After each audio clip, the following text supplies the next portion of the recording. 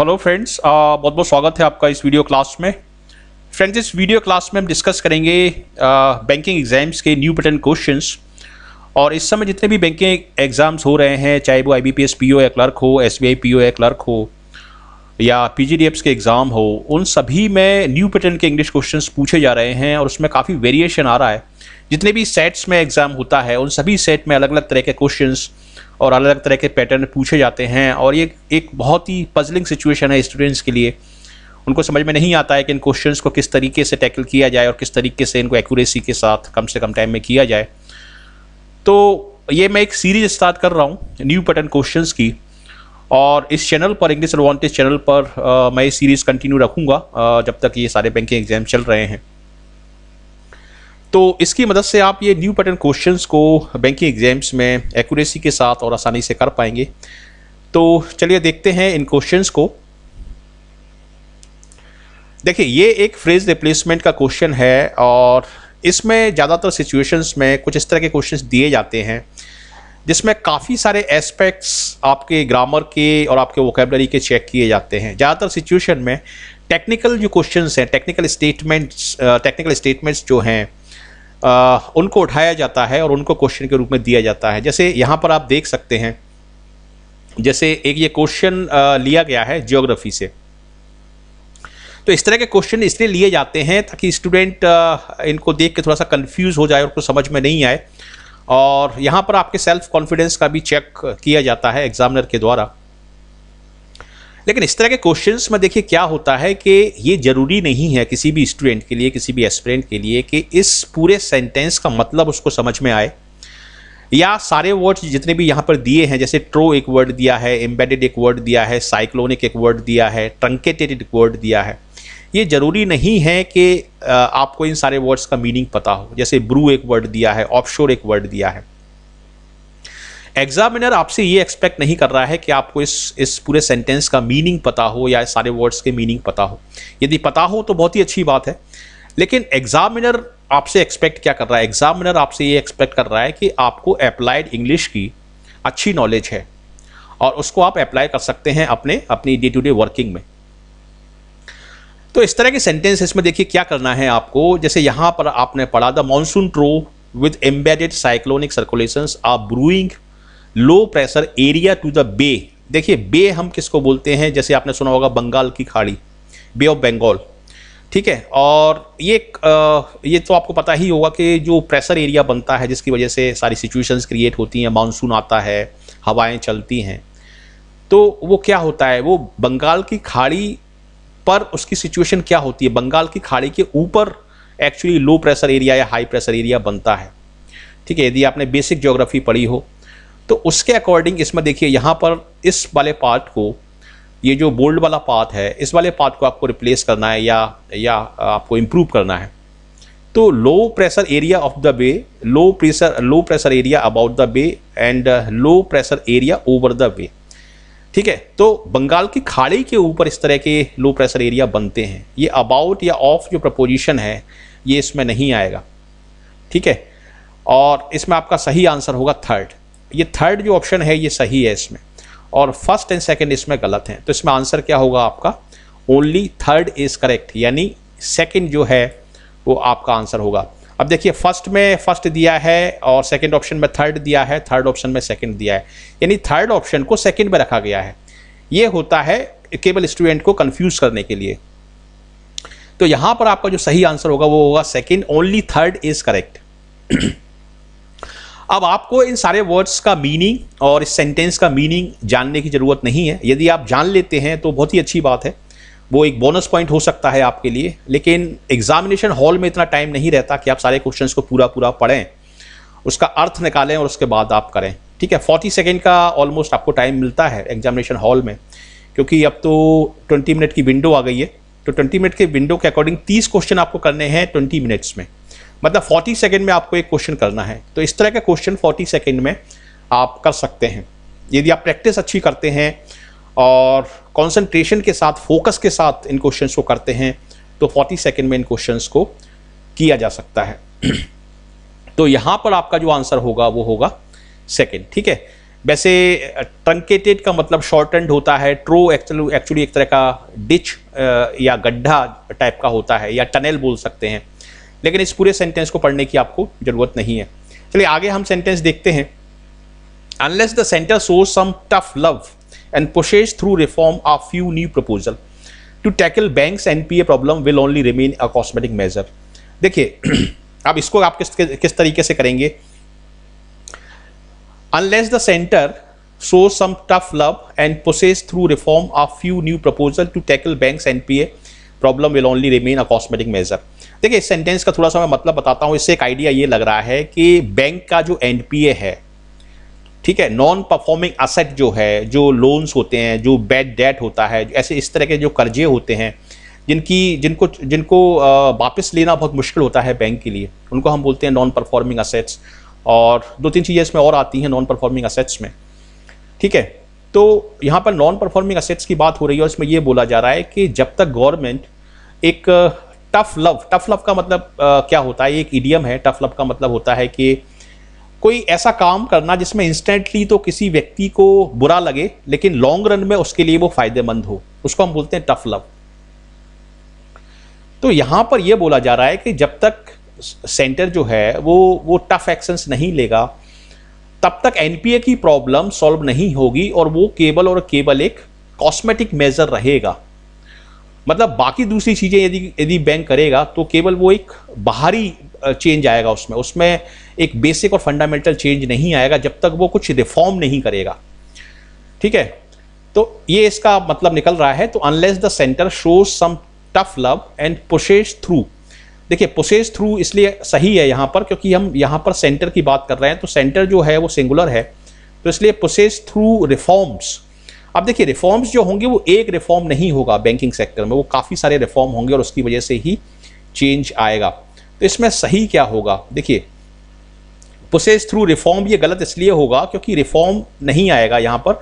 Reforms होंगे, काफ़ी सारे रिफॉर्म्स होते हैं, जो सुधार की जो प्रक्रिया होती है, उसमें काफ़ी सारे रिफॉर्म्स होते हैं। एक रिफॉर्म नहीं होगा क्योंकि एक रिफॉर्म आपने कर दिया और बैंक के एनपीए की जो प्रॉब्लम है वो सॉल्व हो गई। यहाँ पर देखिए process through reforms some new proposal यहाँ पर सम दिया है तो सम के बाद ये प्लूरल में आना चाहिए।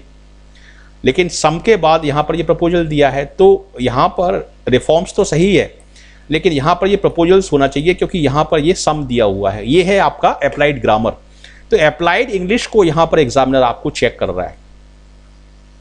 ठीक है, अब यहाँ पर देखिए pushes through reforms any new proposal ठीक है tough love and pushes through reforms a any proposal to tackle banks N P A problem will only remain a cosmetic measure तो एनी न्यू प्रपोजल से यहाँ से पूरा पूरा इसमें sense निकल रहा है सेंटेंस से। देखिए, यदि इस सेंटेंस को लगा के आप पढ़ते हैं तो उसका अर्थ बिल्कुल सही निकलेगा। Unless the centre shows some tough love and pushes through reforms any new proposal to tackle banks NPA problem will remain a cosmetic measure जब तक आप टफ डिसीज़न नहीं लेंगे और जब तक आप एक रिफॉर्म के लिए एक प्रपोजल नहीं लाएँगे जब तक तब तक दूसरे जो उपाय हैं वो केवल एक कॉस्मेटिक मेजर की तरह काम करेंगे। एक एक दिखावटी या भारी या सुपरफिशियल मेजर की तरह वो काम करेंगे। मेजर मतलब होता है उपाय। ठीक है? तो process through reforms any new proposal तो यहाँ पर आपका जो आ, ये भी मैंने बता दिया कि किस तरीके से ये गलत है। और ये भी मैंने बताया किस तरीके से गलत है। तो यहाँ पर जो आंसर होगा, वो होगा ओनली फ़र्स्ट इज़ करेक्ट तो यहाँ पर आपका आंसर होगा फ़र्स्ट इस तरह के क्वेश्चंस आपके प्री में और मेंस दोनों ही एग्ज़ाम्स में पूछे जा सकते हैं। मेंस में जो लेवल होगा, वो थोड़ा सा ज़्यादा और, इससे ज़्यादा और ट्रिकी और टफ क्वेश्चंस आएँगे मेन मेंस एग्ज़ाम में। और प्री में इस तरह के क्वेश्चंस आपसे I B P S P O pre में और दूसरे जो एग्ज़ाम्स हैं, उनमें पूछे जाते हैं इस तरह के क्वेश्चन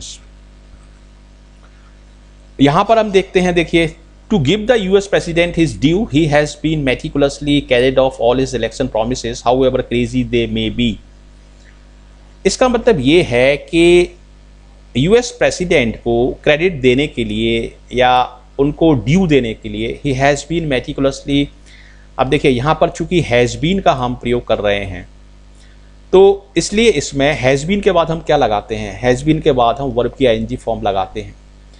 ठीक है? तो एक तो ये कॉन्सेप्ट है यहाँ पर कि हैज़बीन के साथ आपको वर्ब की कौन सी फॉर्म लगानी है। इसके अलावा एक फ्रेजल वर्ब है carried off carried over carried out तो चूँकि यहाँ पर प्रोमिस की बात हो रही है तो इलेक्शन प्रोमिस को हम क्या करेंगे? इलेक्शन प्रोमिस को जो हमने इलेक्शन में प्रॉमिस किया है कि हम ऐसा करेंगे, इस नीति को अपनाएँगे, इस पॉलिसी को इम्प्लीमेंट करेंगे तो प्रोमिस को हम कैरी आउट करेंगे मतलब उनको हम इम्प्लीमेंट करेंगे। ठीक है? तो प्रोमिस के लिए कैरी कैरी ओवर और कैरिड ऑफ़ ये जो फ्रेजल वर्ब्स हैं, ये गलत रहेंगे। ठीक है? कैरी आउट का मतलब होता है किसी चीज़ को इंप्लीमेंट करना। अब देखिए, चूँकि हम यहाँ पर has been has been helping verb को यूज़ कर रहे हैं, इसलिए इसके साथ आपको आईएनजी फॉर्म चाहिए। तो कैरिड ओवर ये तो थर्ड फॉर्म में है, ये गलत ही दोनों की दोनों। ठीक है? कैरिंग आउट सही रहा, और कैरिंग आउट का मीनिंग भी होता है इम्प्लीमेंट करना। यदि इसको आप आईएनजी फॉर्म में कर भी देते देते हैं कैरिड ओवर को तो भी वो गलत होगा। कैरी आउट सही रहेगा और कैरी आउट भी आपको आईएनजी फॉर्म में चाहिए। क्योंकि हैज़ बीन वहाँ पर लगा हुआ है। ऑल हिज इलेक्शन प्रोमिस तो यहाँ पर आपका थर्ड आपका सही है और इसमें आंसर होगा आपका ओनली थर्ड इज़ करेक्ट ठीक है? इस तरीके से इन क्वेश्चंस को आप, आपको करना है। अप्लाइड इंग्लिश एक्चुअली इस समय पूछी जा रही है। और इससे संबंधित क्वेश्चंस बैंकिंग एग्ज़ाम में पूछे जाते हैं। तो ग्रामर की नॉलेज भी ज़रूरी है, लेकिन अप्लाइड ग्रामर को आपको आपको किस तरीके से यूज़ करना है, ये इसमें पूछा जाता है। चलिए नेक्स्ट क्वेश्चन देखते हैं और यहाँ पर देखते हैं किस तरीके से हम कर सकते हैं इसको। आई T A chairman Azam Monem said that the wages of the workers wages मतलब मजदूरी जो होती है वर्कर्स की of the tea industry had been historically determined through through with the unions and the former agreement to this effect was signed on April 1st 2014 for three years and has since expired. अब आपको देखिए काफ़ी लंबा question है। पूरे question में आपको दिमाग लगाने की ज़रूरत नहीं है। इसमें ट्रिक क्या है? इसमें आपको केवल मेन पार्ट पर दिमाग लगाना है। देखिए, यहाँ पर एक एग्रीमेंट की बात हो रही है और यहाँ पर एक टर्म दिया है अप्रैल फ़र्स्ट 2014 यानी ये जो एग्रीमेंट साइन हुआ है, ये पास्ट में हुआ है।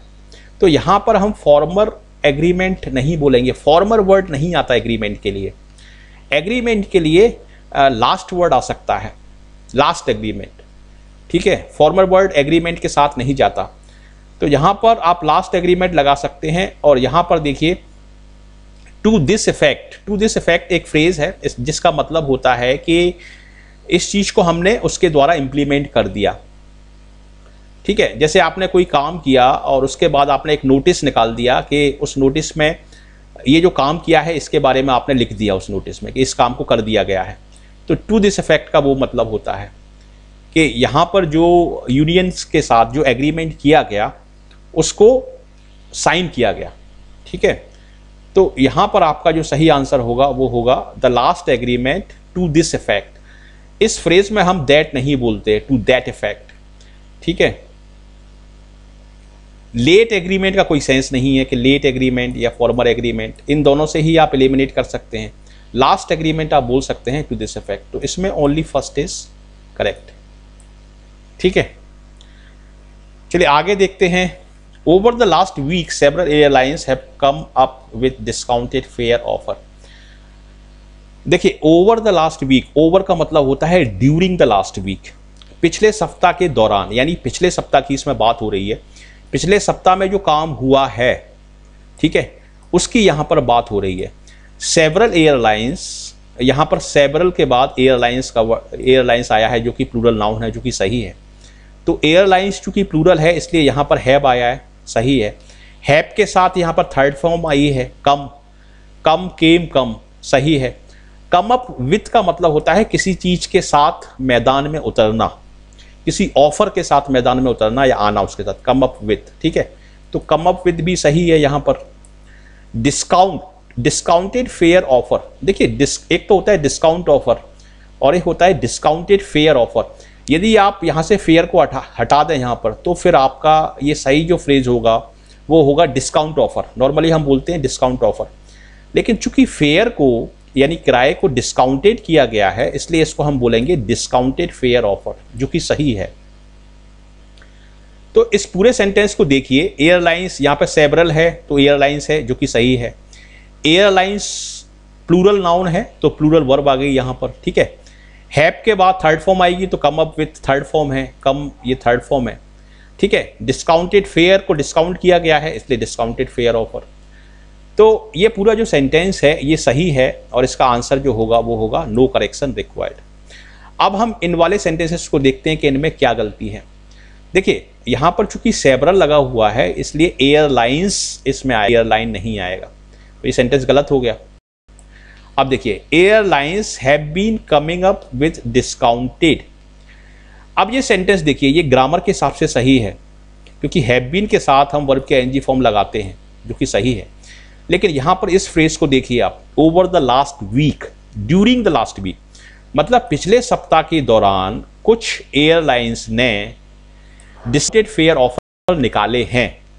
पिछले सप्ताह के दौरान एयरलाइन ने डिस्काउंटेड फेयर ऑफ़र निकाले हैं और वो काम खत्म हो चुका है, क्योंकि वो काम जो हुआ है, वो पिछले सप्ताह हुआ है ओवर द लास्ट वीक ठीक है, पिछले सप्ताह वो काम हुआ और अब वो काम खत्म हो चुका है। यदि आप यहाँ पर हैव बीन बोलते हैं तो इसका मतलब होगा कि वो काम अभी भी चल रहा है। डिस्काउंट ऑफ़र निकालते हैं, वो दो या तीन दिन के लिए या एक पर्टिकुलर टाइम पे वो निकाले जाते हैं। ऐसा नहीं है कि वो डिस्काउंटेड ऑफ़र निकाल दिए और वो डिस्काउंटेड ऑफ़र चलते रहेंगे। उसको एक पर्टिकुलर टाइम पर निकाला जाता है। इसके अलावा यहाँ पर इंडिकेट किया जा रहा है कि ओवर द लास्ट वीक ठीक है क्लियरली यहाँ पर इंडिकेट किया जा रहा है कि ड्यूरिंग द लास्ट वीक पिछले सप्ताह के दौरान कुछ एयरलाइंस जो हैं, वो डिस्काउंटेड फेयर ऑफ़र के साथ मार्केट में आई हैं। तो इसलिए हम बीन यहाँ नहीं लगा सकते। हालाँकि ये सेंटेंस ग्रामेटिकली इसका पैटर्न बिल्कुल सही है, लेकिन कॉन्टेक्स्ट के हिसाब से ये सेंटेंस गलत है। अब यहाँ पर देखिए एयरलाइंस हैव केम अप कर दिया यहाँ पर। तो केम क्या होती है? केम सेकेंड फॉर्म होती है। हैव के साथ हम लगाएँगे थर्ड फॉर्म तो इसलिए ये जो है, ये गलत हो गया आपका। ठीक है? तो ये तीनों ही सेंटेंस मैंने बताया कि ये गलत क्यों है और इसमें जो आप, आपका आंसर होगा वो नो करेक्शन रिक्वायर्ड होगा। तो इस तरीके से इन क्वेश्चंस को आपको टैकल करना है। ज़रूरी नहीं है कि आप पूरा क्वेश्चन पढ़ें ये ज़रूरी नहीं है कि सारे वर्ड मीनिंग आपको पता हो और ना ही ये एग्जामिनर आपसे एक्सपेक्ट करता है। तो इसलिए इस तरह के क्वेश्चंस के लिए कॉन्सेंट्रेशन और फोकस के साथ इन क्वेश्चंस को करना है और इन क्वेश्चंस को देख के इनसे डरने की ज़रूरत नहीं है। काफ़ी सारे स्टूडेंट इनको देख के थोड़े नर्वस हो जाते हैं। चीज़ों को आपको समझना है, चीज़ों से डरना नहीं है। यदि आप ऐसा करते हैं तो इन क्वेश्चन को आप आसानी से आप कर सकते हैं। इस तरह के क्वेश्चंस की बहुत डिटेल प्रैक्टिस मैं अपने ई कोर्स में कराता हूँ। और यदि आप हमारा ई कोर्स ज्वाइन करना चाहते हैं I B P S P O two thousand eighteen के लिए तो इस नंबर पर आप मुझसे बात कर सकते हैं। और इन सभी कोर्सेज़ के लिंक्स भी आपको नीचे डिस्क्रिप्शन बॉक्स में मिल जाएँगे तो वहाँ से भी हमारे ई कोर्सेज़ को ई क्लासेस को आप ज्वाइन कर सकते हैं। और मोबाइल पर, लैपटॉप पर, पीसी पर घर बैठे शांति के साथ, बिना किसी डिस्टरबेंस के एग्ज़ाम ओरिएंटेड तरीके से आप तैयारी कर सकते हैं। अब देखिए, एक ये क्वेश्चन है, ठीक है? ये पैराजंबल का एक नया पैटर्न है। इसमें यहाँ पर कुछ फ्रेजेस दिए हैं।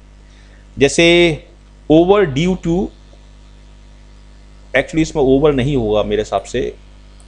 गलत टाइप हो गया ये ड्यू टू होगा। Due to delays in finding employment in recent years and that students are unable to service loans, a senior executive director of a public sector bank said there has been not much job creation. ठीक है इसमें आप देख सकते हैं इसमें तीन ये स्लैश दिए हैं। ठीक है एक स्लैश यहाँ पर दिया है। तो कुछ पार्ट्स इसमें दिए हैं। ठीक है अब इन सारे पार्ट्स को मिला के इस इस पूरे जो अलग अलग फ्रेगमेंट्स हैं इन अलग अलग फ्रेगमेंट्स को मिला के आपको एक एक कोहिरेंट पैसेज आपको बनाना है। लेकिन इसमें जो ऑप्शन है, पाँच ऑप्शन है इसमें देखिए। एक, दो, तीन, चार, पाँच ऑप्शन है। तो इसमें मीनिंगफुल तरीके से लॉजिकल तरीके से फ्रेजेस को कनेक्ट करना है। तभी आप उस सेंटेंस को सही तरीके से मिला पाएँगे। इसमें आप ये मान सकते हैं कि अलग अलग ओपिनियंस हैं या अलग अलग विचार हैं या अलग अलग आइडियाज़ हैं। उन सारे आइडियाज़ को एक कोहिरेंट तरीके से, एक लॉजिकल तरीके से आपको एक सिंगल आइडिया में कनेक्ट करना है। अब आप यहाँ पर देखिए due to delays in finding employments and that students are unable to service loans in recent years देखिए, इस सेंटेंस को यदि आप पढ़े हैं तो क्या मतलब है इसका? Due to delays in finding employment employment पाने में देर हो जाना। एंड दैट यहाँ पर ये दैट किस लिए लगा हुआ है? And that students are unable to service loan in recent years that का कोई यहाँ पर सेंस नहीं है। यहाँ पर आप ऐसे बोल सकते हैं कि चूँकि उनको जॉब देर से मिल रहा है, इसलिए वो लोन को नहीं चुका पा रहे हैं। लेकिन यहाँ पर ये दैट लगा के कोई सेंस नहीं बन रहा है इसका। देखिए due to delays in finding employments and that student are unable to service loan actually ये जो चीज़ है ये इसका रीज़न है। चूँकि उनको देर से जॉब मिल रहा है, इसलिए वो लोन को नहीं चुका पा रहे हैं। तो इसलिए दैट का यहाँ पर कोई काम नहीं है। आप ऐसे बोल सकते हैं कि due to delay in finding employments students are unable to service loans in recent years ठीक है? तो इस तरीके से या दैट का यहाँ पर कोई काम नहीं है। तो इसको जो इसको जो, इसका जो सेंटेंस पैटर्न है, इसको गलत तरीके से लिखा गया है। यानी ये आपका आंसर नहीं हो सकता यहाँ पर। Due to delays in finding employment and that students are unable to service loans in recent years a senior executive director of a public sector bank said there hasn't been much job creation. अब जो senior executive director जो है वो public sector bank का वो बोल रहा है कि there hasn't been much job creation तो यहाँ पर यहाँ पर इन रीसेंट ईयर्स जो है, ये गलत है ये phrase students are unable to service loans in recent years इसकी पोजीशन एक्चुअली यहाँ पर नहीं होगी. ये सेंटेंस का सेंटेंस गलत तरीके से मिक्स कर दिया गया है तो ये आपका गलत हो जाएगा। अब सेकेंड पढ़ते हैं। देखिए सेंटेंस यहाँ इन दोनों से शुरू हो सकता है, क्योंकि सीनियर एग्जीक्यूटिव कोई बात बोल रहा है। ठीक है तो इसको पढ़ते हैं। A senior executive director of a public sector bank said there hasn't been much job creation in recent years ठीक है, देखिए, उसने दो बात बोली हैं। A senior executive director of a public sector bank said उसने कहा, क्या कहा? There hasn't been much job creation in recent year एक तो उसने ये बात बोली है और उसके बाद उसने जो दूसरी बात बोली है, उसको हमने दैट से शुरू किया है। ठीक है, दोनों सेंटेंसेस को, चूँकि ये अलग से एक पॉइंट निकल के आया है तो इसलिए इसको हम दैट से शुरू करेंगे। And that students are unable to service loans दो बातें बोली हैं उन्होंने एग्जीक्यूटिव डायरेक्टर ने, कि there hasn't been much job creation in recent years पिछले कुछ सालों में जॉब क्रिएशन का काम जो हुआ है, वो कम हुआ है। इन रिसेंट ईयर्स पिछले कुछ सालों में जॉब क्रिएशन का काम कम हुआ है। And students are unable to service loans service यहाँ पर वर्ब की तरह यूज़ हुआ है। स्टूडेंट लोन को रीपे नहीं कर पा रहे हैं ड्यू टू डिले यहाँ पर देखिए, ये सेंटेंस भी बिल्कुल मीनिंगफुल लग रहा है due to delays in finding employment चूँकि एम्प्लॉयमेंट नहीं मिल पा रहा है और उसमें देरी हो रही है, इसलिए वो लोन को सर्विस नहीं कर पा रहे हैं। और लोन को वो सर्विस इसलिए नहीं कर पा रहे हैं क्योंकि स्टूडेंट्स को जो जॉब मिल रहा है, वो देर से मिल रहा है और जॉब क्रिएशन जो हुई है, वो पिछले कुछ सालों में कम हुई है। तो ये सेंटेंस सही है इसमें, लेकिन आगे के और सेंटेंस हम पढ़ते हैं। A senior executive director of a public sector bank said there has has been not much job creation due to delays in finding. देखिए, ये बिल्कुल मीनिंगलेस है। यहाँ पर हम बोल रहे हैं कि जॉब क्रिएशन में there hasn't been much job creation मतलब जॉब क्रिएशन नहीं हुआ है। किस वजह से? क्योंकि due to delay in finding employment बिल्कुल ही मीनिंगलेस है कि जॉब क्रिएशन और फाइंडिंग एम्प्लॉयमेंट का कोई रिलेशन नहीं है। जॉब क्रिएशन नहीं हो रही है, इसका रीज़न क्या हो सकता है? इसका रीज़न तो ये होगा कि इंडस्ट्रीज़ नहीं डाली जा रही हैं ज़्यादा से ज़्यादा। ज़्यादा से ज़्यादा प्रोडक्शन यूनिट्स नहीं डाली जा रही हैं। लेकिन यहाँ पर क्या बोला जा रहा है? A senior executive director of a public sector bank said, there hasn't been much job creation due to delay in finding employment. Finding employment की वजह से जॉब क्रिएशन थोड़ी होता है।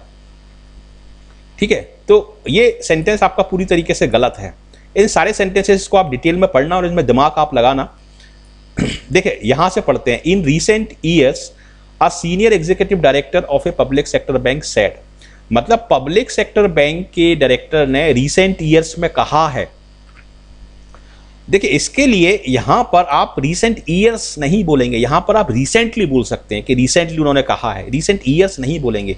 रिसेंट ईयर्स तो तब बोलेंगे जब कोई जब कोई एक एक लेंदी सी, एक लंबी सी कोई घटना होगी, ठीक है? उसके लिए आप रिसेंट ईयर्स बोल सकते हैं। लेकिन उन्होंने उन्होंने कहा है तो कहा, कहने के लिए रिसेंट ईयर्स हम नहीं बोलेंगे, कहने के लिए हम तो रिसेंटली बोल सकते हैं। In recent years a senior executive director of a public sector bank said there hasn't been much job creation and that student are unable to service loans due to delay in finding employment ये sentence correct तो है, लेकिन partially correct है। क्योंकि इन recent years की वजह से इस सेंटेंस का स्ट्रक्चर जो है, वो गड़बड़ा गया है। इसका इनिशियल पार्ट जो 20 परसेंट पार्ट है, वो गलत है, बाकी रिमेनिंग पार्ट इसका सही है। अब यहाँ पर देखिए due to delay in finding employment in recent years and that students are unable to service loans a senior executive director of a public sector bank said there hasn't been much job creation इस sentence को पढ़ने से ये लगता है कि चूँकि student loan को नहीं चुका पा रहे हैं, इसलिए जॉब क्रिएशन नहीं हो पा रहा है, जो कि लॉजिकली गलत होगा। ठीक है? तो इस पर आप दिमाग लगाएँ और ये सेंटेंस भी पूरी तरीके से गलत है। तो यहाँ पर जो सबसे सही स्ट्रक्चर है, सबसे मीनिंगफुल स्ट्रक्चर है, वो है second a senior executive director of a public sector bank said there hasn't been much job creation in recent years and that students are unable to service loans due to delay in finding employment तो इस question का जो answer होगा, वो होगा आपका second ठीक है? ये एक बिल्कुल नए पैटर्न का क्वेश्चन है। और इस तरह के क्वेश्चन अभी हाल ही में जो SBI क्लर्क और पीओ का एग्ज़ाम हुआ है, उसमें पूछे गए हैं। अभी रिसेंट टाइम में जितने भी एग्ज़ाम्स हुए हैं, जैसे SBI क्लर्क एस बी इन सभी के पेपर्स मैं सॉल्व करवाऊँगा इस चैनल पर। और आपको अलग अलग तरीके के जो पैटर्न्स पूछे जा रहे हैं, वो सारे पैटर्न्स के साथ मैं फेमिलराइज कराऊँगा और उनकी ट्रिक्स बताऊँगा कि किस तरीके से उनको आपको टैकल करना है और किस तरीके से एक्यूरेसी के साथ उन क्वेश्चंस को आपको करना है। अब एक क्वेश्चन ये है इसमें हम देखते हैं, ठीक है over the best practices in governance the ranking of states on the basis of ease of doing business as it help to evaluate on a regular basis is a good exercise अलग अलग phrases हैं, इन phrases को आपको set करना है और एक meaningful sentence आपको बनाना है। यहाँ पर देखते हैं the ranking of states on the basis of ease of doing business is the best best practice ठीक है? यहाँ पर इसमें हेल्पिंग वर्ब मिसिंग है। The ranking of states on the basis of ease of doing business is the best practices और may be the best practice in the governance यहाँ पर एक हेल्पिंग वर्ब चाहिए, वो मिसिंग है। तो ये सेंटेंस हो गया आपका गलत। अब हम आगे पढ़ते हैं। On a regular basis is a good exercise on a regular basis एक एक्सरसाइज नहीं है। ऑन ए रेगुलर बेसिस तो हम किसी काम को करते हैं it's not a kind of exercise on a regular basis is a good exercise तो ये सेंटेंस शुरू में ही आपका गलत हो गया। ठीक है? अब यहाँ पर देखिए as it helps to evaluate as से हम नॉर्मली सेंटेंस स्टार्ट नहीं करते, क्योंकि एज ए कंजक्शन है, जिसका अर्थ होता है सिंस या बिकॉज़ तो ये सेंटेंस गलत हो गया। आगे हम पढ़ते हैं, ये दो सेंटेंस बचे हैं। The ranking of states on the basis of ease of doing business on a regular basis is a good exercise इसमें हेल्पिंग वर्ब दी है। और यहाँ पर हम रैंकिंग ऑफ़ स्टेट्स की बात कर रहे हैं on the basis of ease of doing business किस स्टेट में बिज़नेस को करना सरल है, उसके बेसिस पर हम स्टेट्स की एक रैंकिंग बना रहे हैं। और इस काम को यदि हम रेगुलर बेसिस पर करते हैं तो it can be a good exercise ठीक है, ये एक अच्छी एक्सरसाइज हो सकती है। क्यों हो सकती है? यहाँ पर इसका रीजन दिया है। एज का मतलब होता है reason as it helps to evaluate the best practices in governance ये बिल्कुल सही है। क्योंकि यदि आप रैंकिंग ऑफ़ स्टेट्स बनाते हैं रेगुलर बेसिस पे इस काम को करते हैं तो एक एक्सरसाइज होगी। इस काम को करना एक एक्सरसाइज होगी और ये एक अच्छी एक्सरसाइज होगी। ये it's a good exercise why it's a good exercise because it helps to evaluate the best practices in governance क्योंकि उससे हमें पता पड़ेगा कि गवर्नेंस के अंदर बेस्ट प्रैक्टिसेस क्या हैं। किस तरीके से हम रैंकिंग को सुधार सकते हैं? और यदि रैंकिंग किसी स्टेट की नीचे है तो वो नीचे क्यों है? तो ये सेंटेंस यहाँ पर आपका पूरी तरीके से सही है। लेकिन हम आगे भी पढ़ते हैं और इस सेंटेंस को देखते हैं। The best practice of governance on regular basis is good exercise अब देखिए गवर्नेंस की जो बेस्ट प्रैक्टिस होती हैं, ठीक है, वो अपने आप में कोई एक्सरसाइज नहीं है। उसको आप एक्सरसाइज नहीं बोल सकते। ठीक है? जैसे किसी चीज़ को आप कोई रूल्स एंड रेगुलेशन बनाते हैं और इन चीज़ों को आप अप्लाई करते हैं तो that is not a exercise the best practice of governance on regular basis is good exercise as it helps to evaluate the ranking of states मतलब यहाँ पर सेंटेंस को उल्टा कर दिया गया है यहाँ पर यह बोला गया है कि गवर्नेंस uh, की जो बेस्ट प्रैक्टिसेस हैं ठीक है? उससे हमें रैंकिंग सुधारने में या स्टेट्स की जो रैंकिंग बनाने में मदद मिलेगी, जो कि गलत है। तो फिफ्थ क्वेश्चन को थोड़ा उल्टा कर दिया गया है। लॉजिकली इसको उल्टा कर दिया गया है और यहाँ पर यदि आप लॉजिकली सोचें तो फोर्थ नंबर का जो सेंटेंस है वो पूरी तरीके से सही है और ये इसका सही आंसर होगा। तो इस तरीके से इस वीडियो क्लास में मैंने सात क्वेश्चन लिए हैं, दो टाइप के अलग अलग पैटर्न के क्वेश्चंस लिए हैं। और इस तरह के नए नए पैटर्न के क्वेश्चंस मैं इस चैनल पर अपलोड करता रहूँगा। तो इसलिए यदि आप फ़र्स्ट टाइम आप इस चैनल पर आए हैं तो इस चैनल को आप सब्सक्राइब करें, इस वीडियो को लाइक करें, ज़्यादा से ज़्यादा आप लाइक करें। आप लाइक करेंगे तो मेरा मोटिवेशन बढ़ेगा और मैं इस तरह से और भी इस तरह के वीडियोस डालूँगा और आपकी हेल्प करूँगा कि आप किसी भी बैंकिंग एग्ज़ाम में या पीजीडीएफ एग्ज़ाम में आसानी से इंग्लिश के सेक्शन को कर पाएँ और सिलेक्ट होएँ उसमें पी एग्ज़ाम में और I B P S P exam आ रहा है। और यदि सिस्टमेटिक तरीके से डिटेल तरीके से आप बैंक पी एग्ज़ाम की तैयारी करना चाहते हैं, कोई चांसेस आप नहीं लेना चाहते हैं, यदि आप सीरियस एस्पिरेंट हैं तो इसके लिए आप हमारा ई कोर्स भी आप ज्वाइन कर सकते हैं। इन सभी के लिए आपको जो लिंक मिलेगा वो डिस्क्रिप्शन बॉक्स में मिल जाएगा, वहाँ से डायरेक्ट जाके बैंक प्रो के नाम से एक ई कोर्स है, उसको आप ज्वाइन कर सकते हैं। और कोई भी आपको प्रॉब्लम आती है तो इस साइट पर नीचे जो नंबर दिया हुआ है, उस नंबर के थ्रू आप उससे कभी भी कॉन्टैक्ट कर सकते हैं। Nine eight nine three seven one double nine double three. इस नंबर पर आप उससे कॉन्टैक्ट कर सकते हैं।